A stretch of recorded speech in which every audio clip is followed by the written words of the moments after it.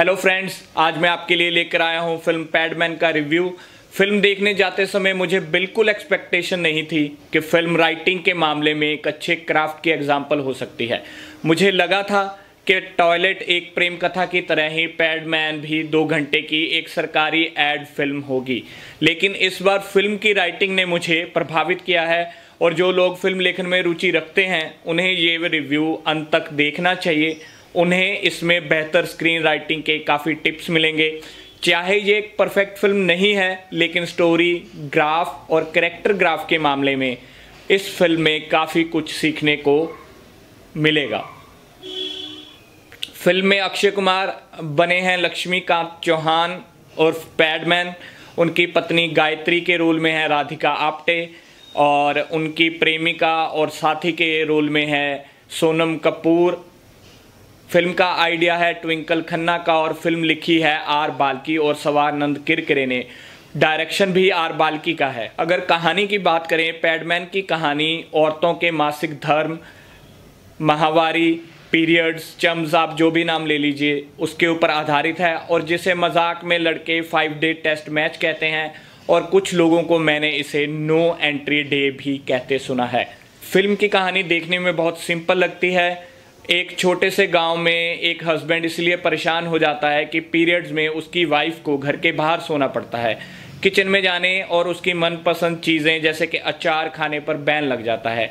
और सबसे बुरी बात, उसे अपने बॉडी के सबसे सेंसिटिव हिस्से पर गंदे कपड़े का इस्तेमाल करना पड़ता है। जब उसे पता चलता है कि ये गंदा कपड़ा औरतों के लिए जानलेवा भी साबित हो सकता है तो वो पैड लेकर आता है। लेकिन एक मामूली वेल्डिंग मैकेनिक होने की वजह से उसकी पत्नी कहती है कि अगर वो इतने महँगे पैड्स अपनी पत्नी, अपनी बहनों के लिए खरीदता रहा तो एक दिन खाने के लाले पड़ जाएँगे। उसी से शुरू होती है उसकी सस्ता पैड बनाने की ज़िद। लेकिन इस कोशिश में उसकी पत्नी, बहनें, माँ और पूरा गाँव तक साथ नहीं देते, बल्कि उसे बच्चलन कह के गाँव से बाहर निकाल दिया जाता है। उसकी पत्नी उसे छोड़कर चली जाती है। फिर कैसे वे पैड बनाने की जिद पूरी करता है? कैसे अपना खोया हुआ सम्मान हासिल करता है? कैसे अपनी पत्नी और परिवार को वापस पाता है? पैडमैन उसी की कहानी है। दोस्तों, जैसा कि मैंने शुरू में कहा, कहानी देखने में बिल्कुल सिंपल लगती है, लेकिन जिस नज़रिए से मैंने इसकी कहानी को देखा है तो उसमें मुझे कई सारे लेयर्स नज़र आते हैं। पब्लिसिटी के हिसाब से ये सैनिटरी पैड की एड लगती है, लेकिन असल में कहानी एक हस्बैंड और वाइफ पति पत्नी के इमोशंस, भावनाओं की कहानी है। अक्सर कहा जाता है कि शादी के बाद प्यार ख़त्म हो जाता है, लेकिन ये फ़िल्म दिखाती है कि कैसे आज भी ज़मीनी स्तर पर अगर देखें तो पति अपनी पूरी ज़िंदगी, अपनी पत्नी की खुशियों, सुरक्षा और हेल्थ के लिए लगा देता है। जैसे कि आप सब जानते हैं ये कहानी साउथ के एक ग्रामीण अरुणाचलम मुरुगनम की असल ज़िंदगी पर आधारित है जिसने पैड बनाने की एक मशीन ईजाद की थी। आ, तो उस हिसाब से इस कहानी की पहली लेयर जो है वो पति पत्नी के रिलेशंस पर है। दूसरी लेयर है टैबूज की जिस पर कोई सवाल नहीं करता खासकर पीरियड्स जैसे मुद्दे पर। इसे औरतों वाली बात कह के मर्दों को इससे दूर रखा जाता है। पीरियड से जुड़ी शर्म औरतों के लिए मौत से भी बड़ी बीमारी शर्म को माना जाता है। पीरियड्स की तकलीफ़ को समझने की बात तो दूर, दाग लगने के डर से औरत टेंशन में जीती है। तीसरी लेयर है बदलाव की। और बदलाव लाने के लिए समस्याओं की जड़ को समझने की। सामाजिक समस्याओं के लिए हम अक्सर समस्याओं का तुरंत इलाज करने की कोशिश करते हैं, लेकिन समस्याओं की जड़ ढूंढकर उनका परमानेंट हल करने के बारे में नहीं सोचते। इस तरह लक्ष्मी भी फ़िल्म के पहले हाफ़ में पैड बनाने की कोशिश करता रहता है, लेकिन दूसरे हाफ़ में उसे समझ आता है कि समस्या पैड नहीं, पैड बनाने वाली मशीन है। तो फिर वह पैड बनाने वाली सस्ती मशीन बनाता है। लेकिन ये लेयर होने के बावजूद पैडमैन समस्या की एक जड़ तो पकड़ती है, लेकिन मूल जड़ नहीं पकड़ती। वे पीरियड्स में हाइजीन का हल सस्ता पैड तो दे देता है, लेकिन फ़िल्म पीरियड्स के प्रति लोगों की मानसिकता को बदलने में साइलेंट रहती है। एक जगह पर लक्ष्मी का डायलॉग है कि रीति रिवाज बेवकूफ़ों के लिए होते हैं। वो वहाँ पे जो मासिक धर्म से पीरियड से जुड़े रीति रिवाज हैं, उनके बारे में बात कर रहे हैं। और परी के पापा भी कहते हैं कि औरतों की समस्याओं को मर्द अपने अंदर की औरत को जगाकर ही समझ सकता है।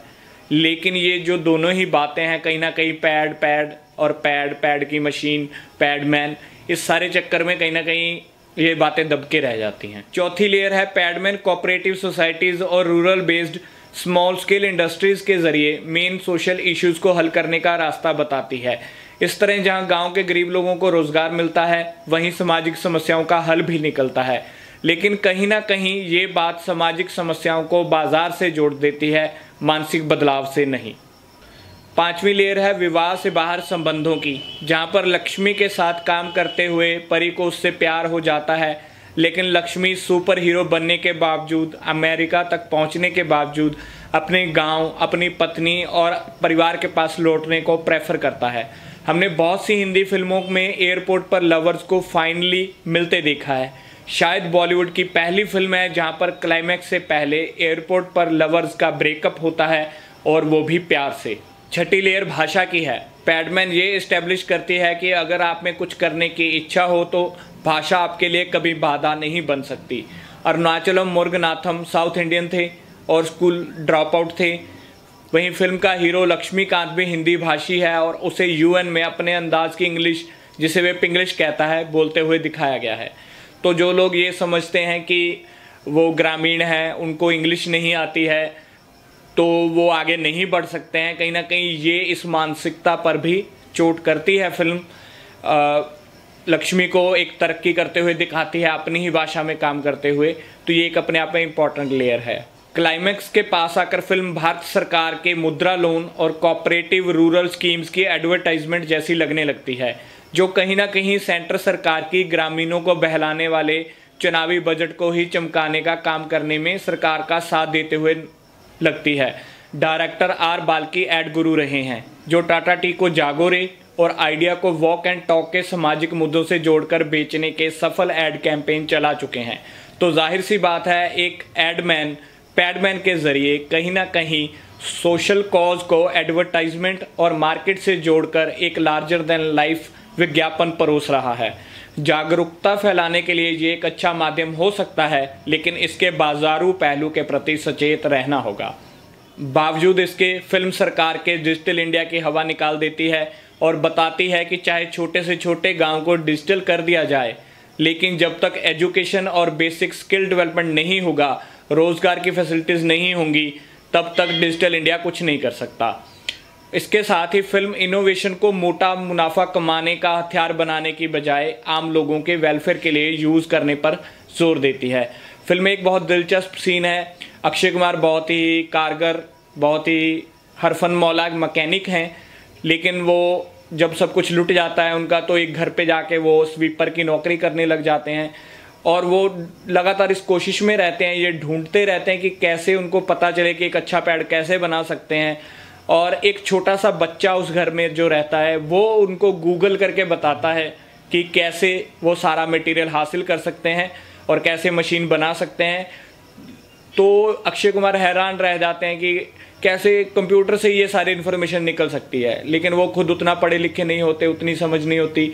तो कहीं ना कहीं ये है कि अगर डिजिटल इंडिया बन भी जाए तो जब तक बेसिक एजुकेशन नहीं होगी स्किल डेवलपमेंट नहीं होगा तो कुछ भी नहीं हो सकता है। अब बात करते हैं एक्टिंग की।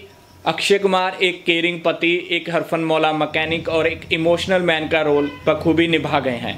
राधिका आप्टे ने ग्रामीण पत्नी का रोल अच्छी तरह से पर्दे पर उतारा है। वहीं अर्बन वुमन के रूप में सोनम कपूर का छोटा सा रोल कहानी में ताजगी लाता है।